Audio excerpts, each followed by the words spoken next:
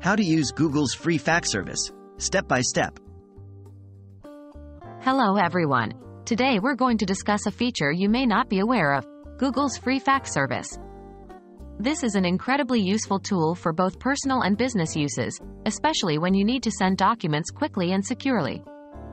Let's take a look at the requirements and steps for using this service.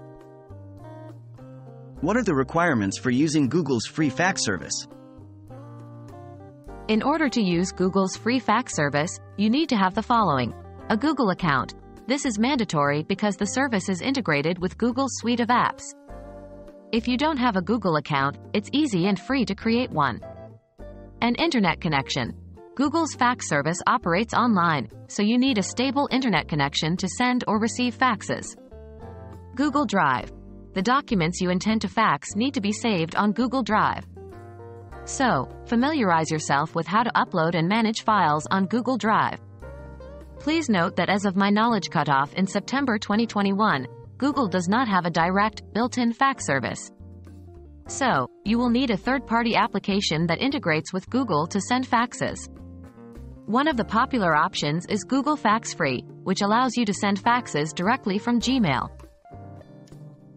How to send a fax using Google's free fax service. Once you meet the requirements, follow these steps to send a fax. 1. Open your Gmail account. Log into the Gmail account that you will be using to send the fax. 2. Create a new email. Click on the Compose button to create a new email. 3. Enter the recipient's fax number. In the To field, enter the recipient's fax number followed by at faxsend.com. The domain may vary based on the third-party app you're using. 4. Attach the document. Click on the Attach Files button. It looks like a paperclip, and select the document from your Google Drive that you want to fax. 5. Send the email.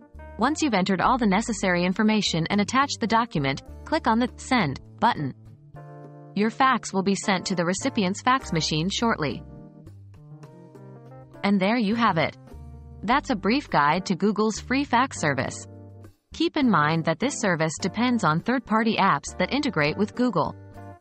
Be sure to check the specifics of these apps as they may have different rules and limitations. Thank you for watching, and happy faxing!